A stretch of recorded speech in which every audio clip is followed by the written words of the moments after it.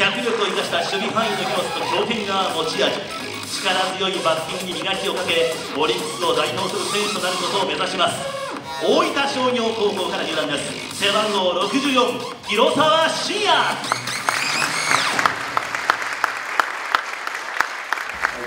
このユニフォームを着て野球をするので